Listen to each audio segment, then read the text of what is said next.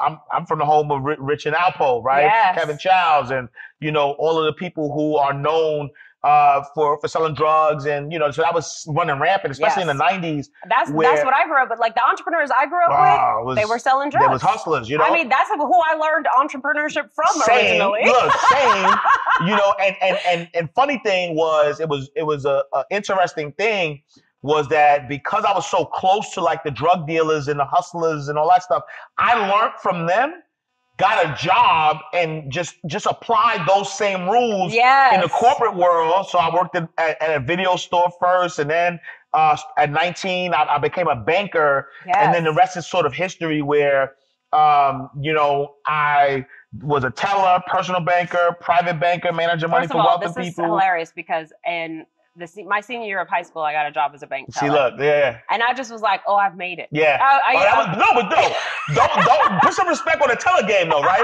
like like at one point though, it was a big deal yes. to be a like, oh, you work at a bank? exactly. Like, it was Like, a big deal. you feel yeah. like like a grown up. Like you feel like a more serious person, you 100%. know? Because I, I was a cashier before, yeah, which is like that's a very natural trajectory to go from a cashier to a bank teller. yeah. And I, honestly, one of the best things working for a bank did for me, Mhm. and I'm curious if you had the, a similar experience. You probably did, especially going into private banking, right? Is seeing people's bank accounts and seeing Mm-hmm. Oh. how much money they had, Yeah, and just being like, how? yeah, Just knowing that it's possible to 100%. have, you know, three hundred thousand dollars sitting in a in a checking account. and let me tell you, seeing other people bank account and that and the person doesn't match the bank account. yeah, you're like, this ain't a fancy It- person, right.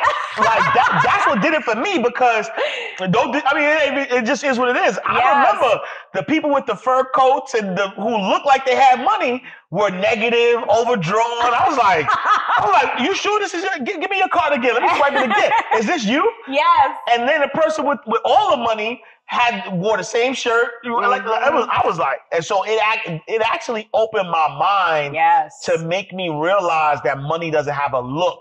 yes, You can't look at somebody and say they have money or they don't have money. right, It's really if you have money, you have money. If you don't have money, you don't have money. Like you can't make up in your mind what money looks or feels like because everybody manages it differently. right, and it manifests differently on everybody.